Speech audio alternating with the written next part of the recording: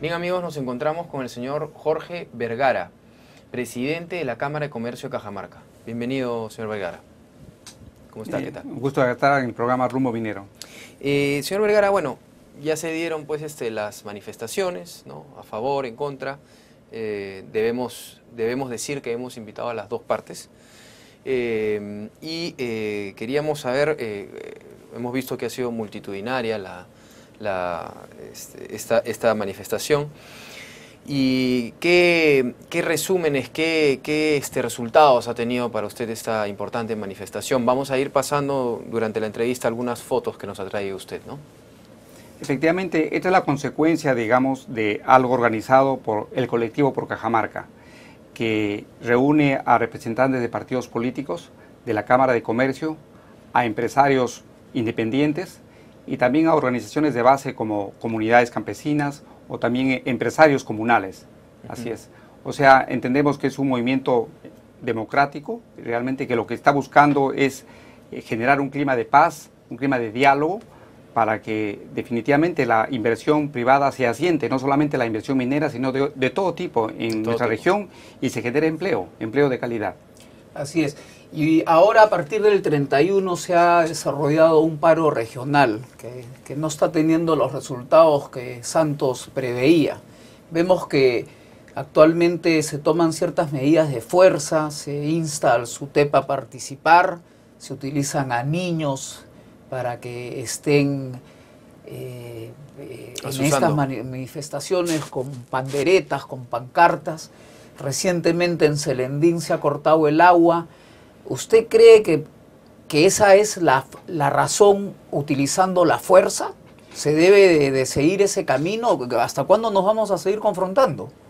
En primer lugar, decir que la marcha, la gran marcha por la paz y el desarrollo del 29 de mayo fue pacífica, totalmente pacífica y voluntaria. Hay que reconocer entonces que la gente fue simplemente a, a una simple convocatoria y ha ido gente en forma masiva de la ciudad y del campo y de todos los estratos sociales. Y también, lo más importante, no ha sido solamente de la provincia de Cajamarca, sino una gran concentración con delegaciones de nuestras 13 provincias, por un lado. Y por otro lado, creemos que el paro no ha tenido la convocatoria que eh, eh, creían tener los organizadores. En los primeros días ha pasado prácticamente desapercibido. El 31 realmente las actividades fueron casi normales. En vista de esa poca respuesta es que están utilizando ya la fuerza y medidas, eh, digamos, de amedrantamiento a toda la población para que las cosas se, hagan más notorias. Y efectivamente lo están logrando, pero repito, inspirando miedo, inspirando temor, yéndose en forma agresiva, por ejemplo, a cerrar universidades. Ayer, por ejemplo, la UPN ha sido evidente, y puedo decir esto de fuente directa porque mi hijo ha estado participando, es estudiante de la, de la UPN. Han ido un grupo de estudiantes universitarios y a la fuerza obligar a cerrar la universidad básicamente por seguridad, en función de la seguridad de los propios estudiantes que ha cerrado la, la, UPN, pero así están, están eh, eh, eh, obrando, así están obrando. Pero ¿hasta cuándo, hasta cuándo digamos, em, como en todo en la vida, ¿no? hay los pro y los contra, y, creo que dentro de un Estado de democracia todos tienen derecho a reclamar, ¿no es cierto?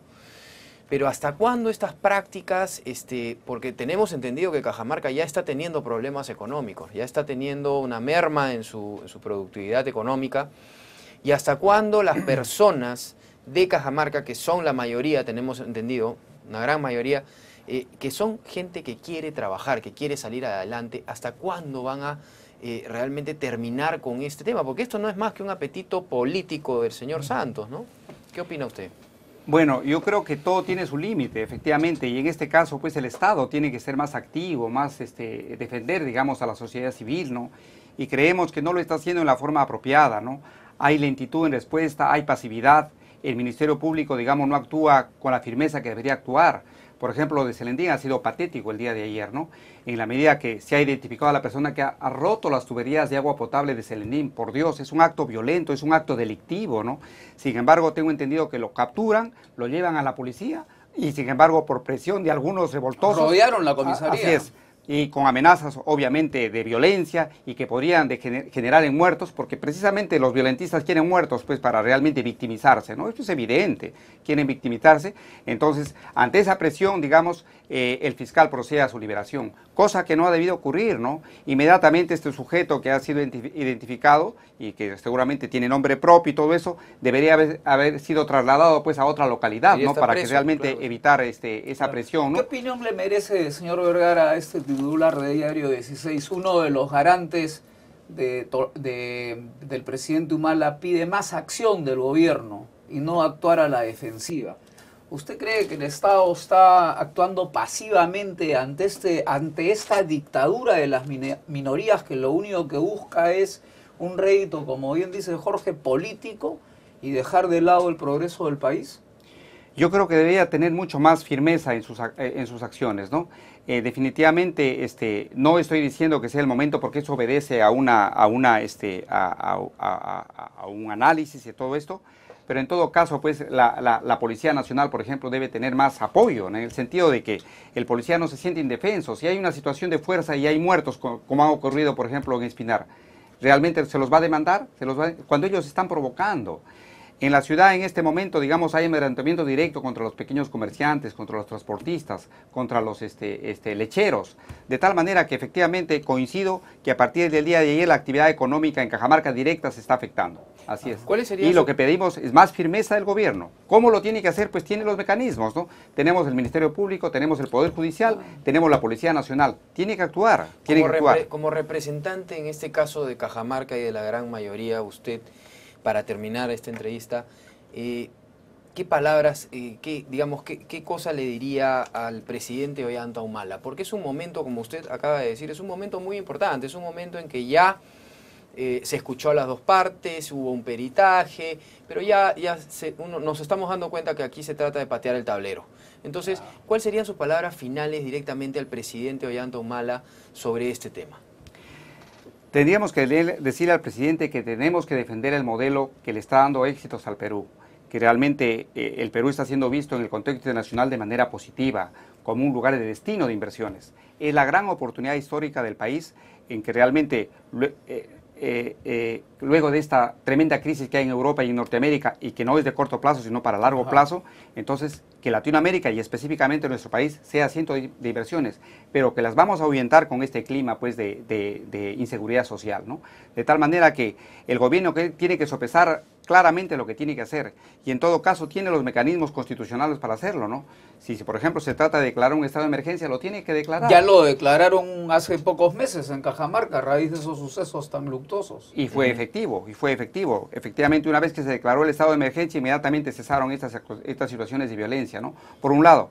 Y por otro lado, no tanto la parte política, sino la parte, digamos, este, técnica es la que tiene que actuar el gobierno. Me refiero a que no nos interesa tanto ir a los eh, ministros y quemarlos o a los viceministros. Nos interesa, por ejemplo, vayan gerentes, que vayan eh, expertos para explicar, por ejemplo, programas exitosos como si era exportadora, si era productiva, etcétera. De tal manera de que que se generen pues diálogos a nivel de técnico, repito, con los cajamarquinos, ¿no? Por un lado. Y por otro lado, también fortalecer mucho esta mesa, esta, esta, este, este plan marcha que le llamamos, entre comillas, a Cajamarca, en el cual se están destinando 5 mil millones de soles para hacer obras en toda la región. Y que tiene que trabajarlos con las autoridades que, tienen que, que quieren trabajar. Si el gobierno regional no quiere trabajar, pues hay que obviar al gobierno regional. hay que no las va a hacer. Hay, hay que obviar al gobierno regional, hay que trabajar con los municipios, distritales y provinciales. Muy bien, muchas gracias por estar con nosotros, eh, eh, señor Vergara. Eh, le agradecemos esta deferencia y volvemos a hacer la convocatoria a todas las partes. En este programa somos muy democráticos y hacemos la, hemos hecho muchas invitaciones al señor Santos, al señor Arana pero lamentablemente no han querido venir al programa, pero acá los estamos esperando para conversar abiertamente y en democracia sobre lo que están a favor y en contra de este, de este importante sector. Muchísimas gracias por estar con nosotros. Bien, y este, sin embargo, eh, decir finalmente de que se fomente el diálogo, se fomente el clima de, paz, pero a veces se llega a un estado de diálogo de sordos. Frente a un diálogo de sordos, entonces yo creo que nosotros los cajamarquinos vamos a seguir por si acaso organizándonos. El colectivo por Cajamarca va a seguir trabajando. otras actividades? Por supuesto que sí. Y vamos a pedir cuentas al gobierno regional qué es lo que está haciendo qué es lo que está haciendo. Y vamos a exigir que realmente aquellos actos que realmente son actos terroristas se paren, pues, ¿no es cierto? Y, se, impere la ley. Definitivamente. No podemos permitir este estado de cosas. Muchas gracias, señor Vegarapa. Y a continuación nuestro informe de construcción vinculada a la minería. Esta secuencia llega gracias a la revista Perú Construye. En el Perú existe una revista especializada en construcción y arquitectura. ¿Lo sabía? Perú Construye, con los mejores artículos e información de la construcción y las tendencias en arquitectura. Perú Construye, su mejor herramienta de negocios en construcción y arquitectura.